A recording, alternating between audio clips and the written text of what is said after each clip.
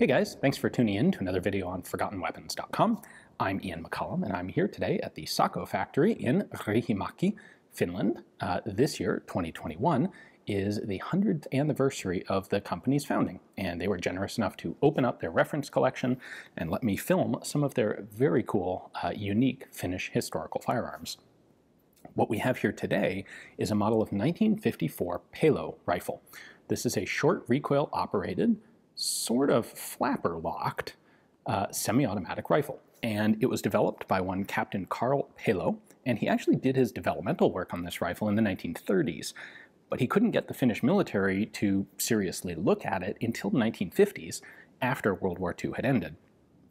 So our story for today begins in 1920. Carl Pelo uh, joins the Finnish army, and he actually ends up going to cadet school and is promoted by the time he retires in 1926 to the rank of captain.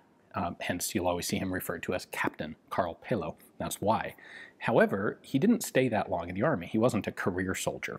He left the Army, he went and studied engineering, and in 1930 he started working at the Sako factory. It was during that time that he started developing uh, semi-automatic rifle actions. He was a big believer in the concept.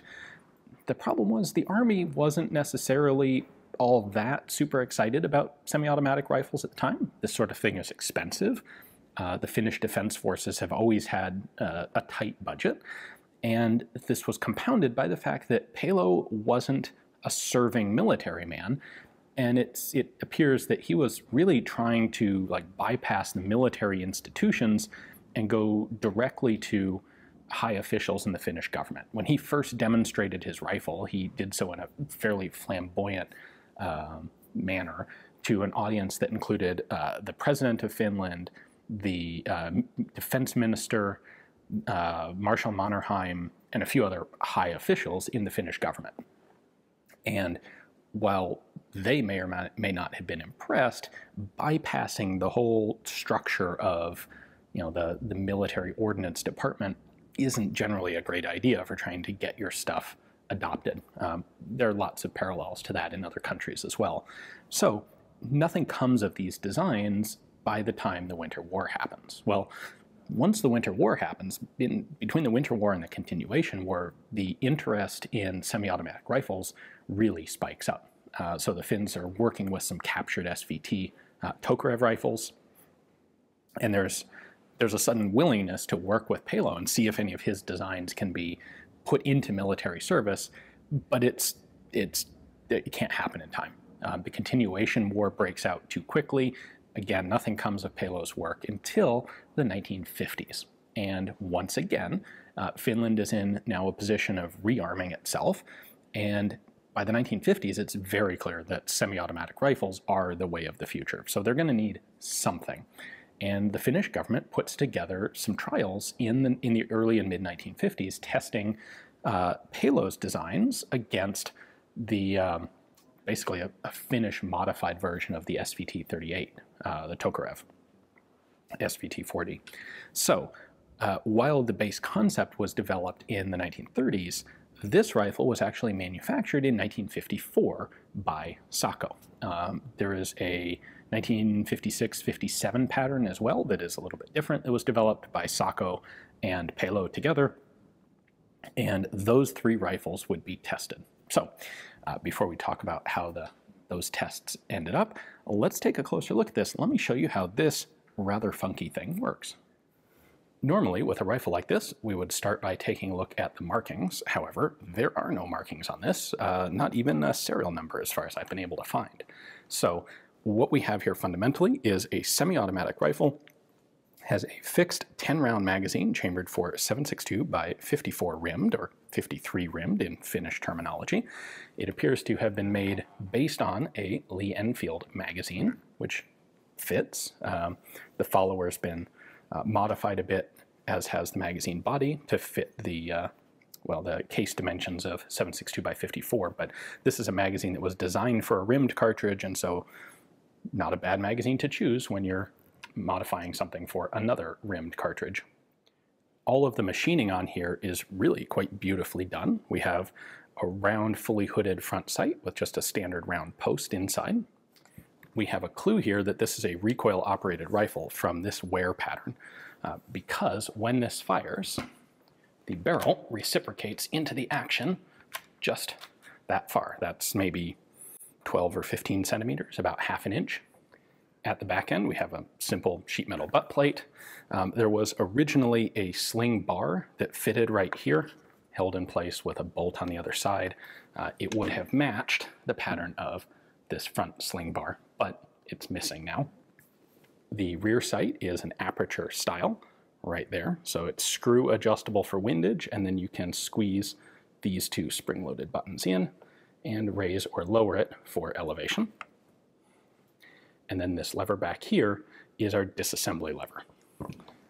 All right, I'm gonna disassemble this first and then show you how it works because um, this is actually missing the recoil spring and like many recoil operated rifles, it's a little bit funky to work with. So first, we're gonna pull this lever off to the right. That will unlock the rear section of the receiver cover. And I can then pull this forward and lift it up and out. We have a pair of buffer springs here that will cushion the impact of the bolt and barrel. And normally this rod would have the recoil spring on it. But like I said, the recoil spring is missing. Now, with that out, I can take off what is normally the dust cover and charging handle. Obviously, there's the charging handle. This has a lug at the front with a little hole in it that would normally lock into this spot in the bolt. The recoil spring is nested inside this part of the bolt and holds this thing in place. Now we're going to pull the barrel back as if it was recoiling and then pop pull the bolt back, and the bolt, once the barrel is forward, I can lift the bolt up and pull it out of the action. Now, while we've got all these bits removed, you can see the original, the remains of the Enfield follower in there. You can see that this has a stripper clip guide, so this would be reloaded by a pair of stripper clips. And then there are a pair of lugs right here. And these are, are very significant. Um, this front lug, when the bolt hits it, it gets pushed in and it unlocks the barrel assembly and allows the barrel assembly to return forward. When it does that, this lug is actually locked into the side of the bolt right here. And so uh, that helps keep the two together. That's not actually the locking system, um, but that helps keep these two together while they're opening.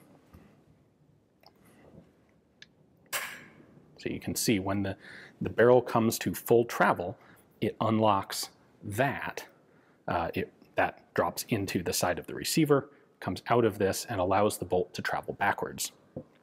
Now what's actually locking this thing are basically Degtyarev style flaps. So instead of being free moving like on the Degtyarev, there are a pair of little flat springs that hold them in place. But there are two little pins here that open up two flaps on the rear of the bolt, like that.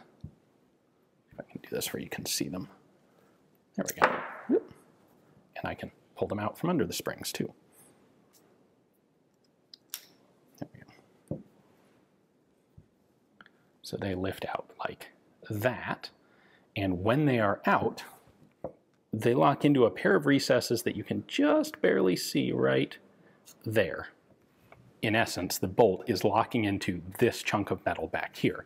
So when the barrel and this piece recoil um, upon firing, the bolt is locked in battery in there. You can actually see the two sets of tracks right here that these little pins run in man, this thing is full of difficult camera angles. But if you see right there and right there above my finger, uh, the two tracks open up. And that is where the flaps are forced to open and lock into the walls of the receiver here, or the barrel extension.